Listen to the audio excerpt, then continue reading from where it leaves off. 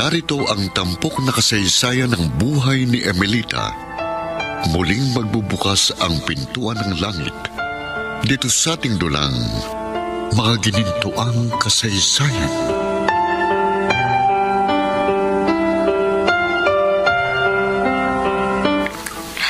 Ngayong narito na po kayo sa bahay nyo, mas makakapagpahinga na po kayo ng panatag dito. Mapapanatag lang ako kung mahuhuli na ang bumaril sa amin. At magkakaroon ng katarungan ng pagkamatay ni Nanay Ska. May katwiran po kayo. Ano na po bang balita doon? Nag-iimbestiga na ang mga may kapangyarihan. Meron po ba kayong pinaghihinalaan na maaaring gumawa nun sa inyo? Baka maaari din po siyang imbestigahan. Bakit po kayo napabuntong hininga dito? May pinaghihinalaan nga ako. Ngunit sa ngayon, hindi ko pa ito maaaring ipaalam sa mga pulis. Pero bakit po? Dahil baka lalo lang maging mapanganib ang lahat.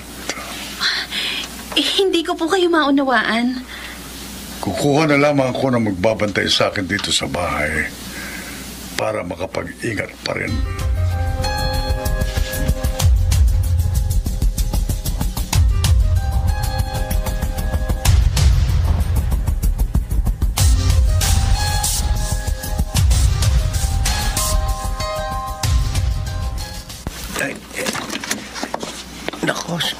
Senyorita Daryl. Senyorita Grace.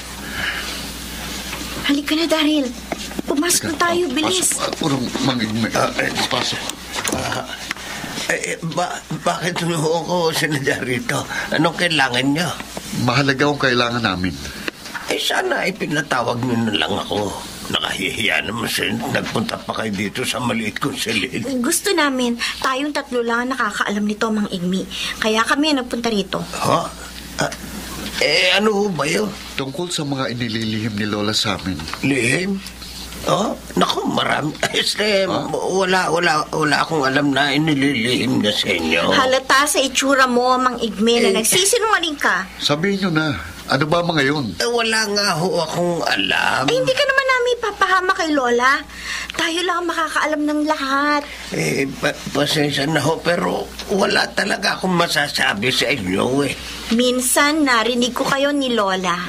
Sinabi niya, naghahanap siya ng hired killer. Dahil may gusto siyang ipapatay. Oh, mangigme. Sinong ibig ipapatay ni Lola? Eh, ah, ah, Sino?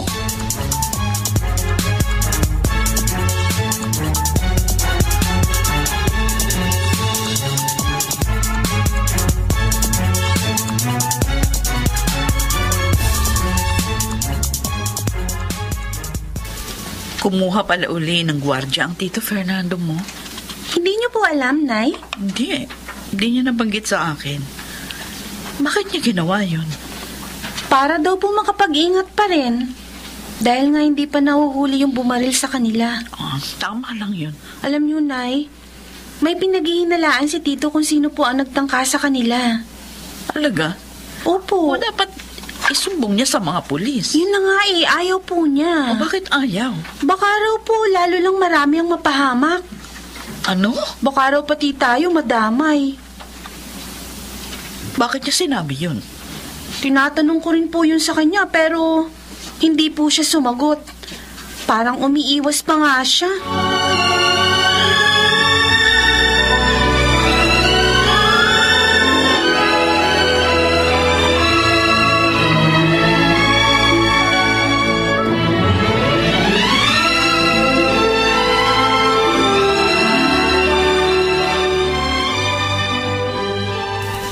Nakalabas na pala sa ospital ang ulang hiyang si Fernando.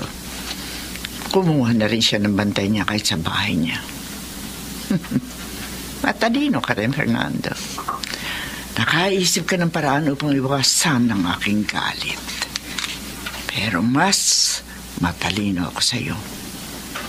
Dahil sa susunod, hindi na ako mabibigo. Sisiguruhin kong mamamatay na kayo ni Emilita.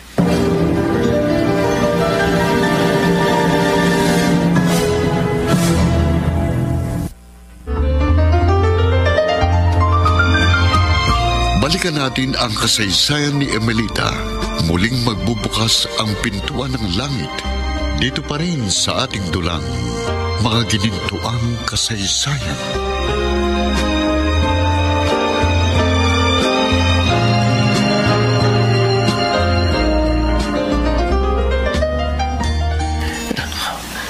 Tinatawag ako ni Donya agad.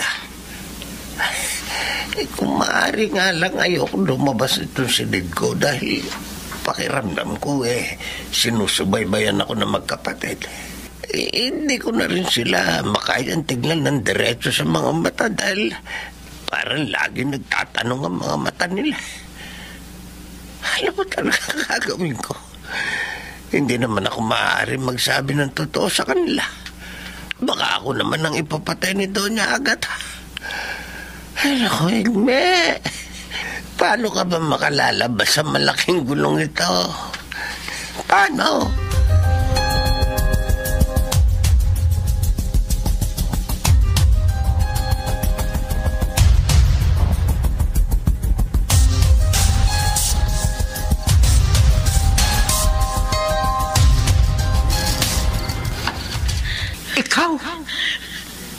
Papaano ka nakapasok dito? Bakit mo kinuha sa akin ang mga anak ko, Donya Agatha? Alam mong mahal na mahal ko sila. Sila ang buhay ko. Dapat nga magpasalamat ka. Dahil nakaligtas si Grace sa kanyang sakit. At ngayon, maginhawa ang buhay nila sa piling ko. Sinungaling ka! Manloloko! Inagaw mo ang mga anak ko! Tumigil ka! Lumayas ka rito ngayon din! Aalis lang ako dito. Kung ibabalik mo sa akin sina Daryl at Grace! Pwes, kakalad ka rin kitang palabas! Iwan mo ka! Aray ko, aray ko. Ang braso ko. Nahulog pala ako sa kama. Nahulog ako dahil sa isang pangit na panaginip. Nagpunta raw dito ang walang kwentang si Emilita. Hinila ko siya palabas ng bahay. Kaya ako nahulog sa kama. Ra- aray, ah, huwag sana mangyari ang panaginip na yun. Dahil pag nagkataon, ako mismo ang papatay sa'yo, Emelito.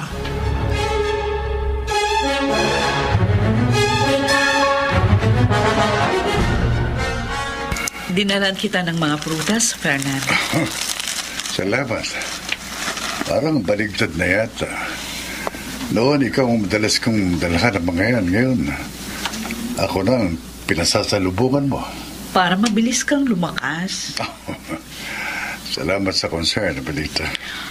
Ang sabi ni Lorraine, may hinala ka raw kung sino yung bumaril sa inyo ni Nana Iska. At ayaw mong sabihin sa mga pulis dahil nga nag-aalala ka na baka kami ay madamay. Bakit, Fernando? Sino ba ang taong pinaghihinalaan mo? Emelita, Sabihin mo na sa akin. Kung ayaw mo munang ipaalam sa mga pulis, irerespeto ko ang pasyon. kasi Sige na. Sabihin mo na. siguro nga dapat mo nang malaman para makapag-ingat ka rin dahil baka pati ikaw patayin din. A- ano? Bakit pati ako? Sino bang taong yon? Si Tita Agatha. Ha? Narito siya? Bakit ngayon mo lang sinabi sa akin na narito na si Doña Agatha? Dahil ang ibig ko, makausap ko muna si Daryl. Pero hanggang sa magkaharap kami ni Tita, hindi ko pa rin sila nakikita. Ang mga anak ko. Mahabang panahon ako nangulila sa kanila. Gustong gusto ko na silang makita. Kaso, bigo akong makumbinsi si Tita na ibalik sa iyong kambal. Lumitaw pa sa pag-uusap namin ang malaking galit na sa iyo hanggang ngayon. At maging sa akin, Nagalit siya na gusto. Sabihin mo sa akin kung saan siya matatagpuan. Ako ang pupunta sa kanya.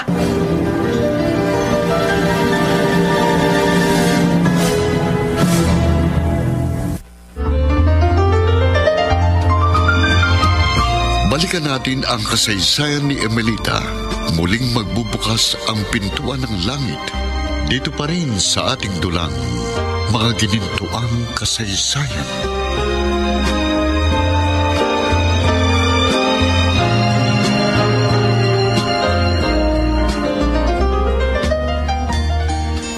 Nay, galit po ba kayo kay Tito Fernando? Ha? Bakit mo naman naitanong? Tumawag po siya sa akin, tinatanong po kayo. Dahil hindi niya raw po sinasagot ang mga tawag at text niya. Ngayon ko lang po kayo nakitang nagkagalit ni Tito. Bakit po ba, Nay? Lorraine, Oh, bakit po kayo umiiyak? si Fernando. Alam niya nang nandito si Antonia Agatha at ang mga anak ko. Po? Pero ayaw niyang sabihin sa akin kung saan sila matatagpuan. Eh, bakit naman po? Sigurado po ako, may mabigat na dahilan siya, inay, kaya ayaw niya munang sabihin sa inyo. Kung ano man ang dahilan na yun, handa akong harapin yon. Makita ko lang at mayakap ang kambal ko.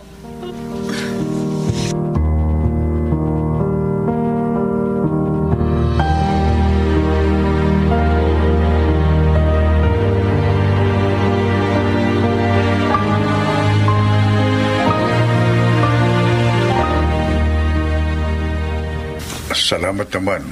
Hinarap mo ko. Fernando, hindi ka dapat nagpunta dito. Baka mabinat ka. Hindi ako matahimik. Nagagalit ka sa akin. Eh, hindi mo naman ako masisisi kung magdamdam ako.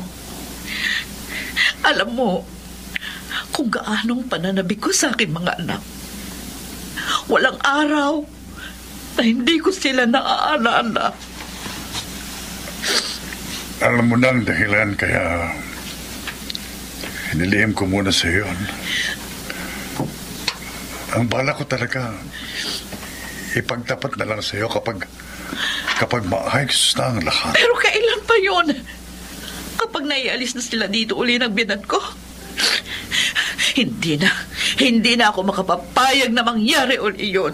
Kaya pakiusap, sabihin mo na sa akin kung nasaan sila. Sige, sasabihin ko sa iyo.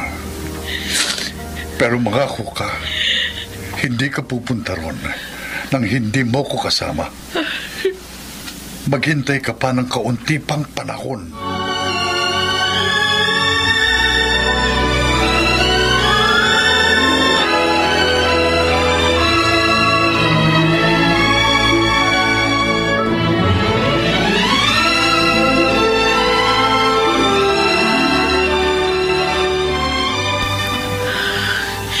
Hindi ako makatulog.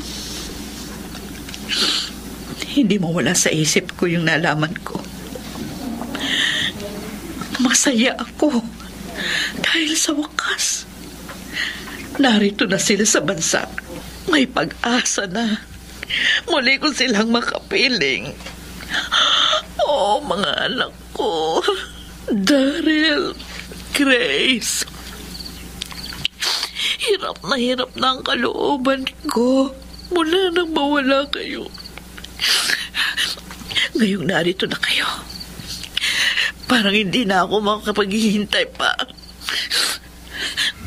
Bahala na.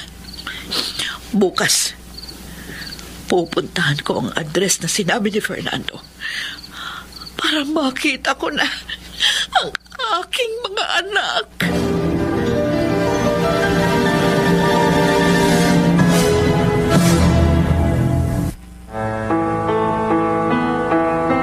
Mangyari kayang panaginip ni Doña Agata sa pagkakataong yon.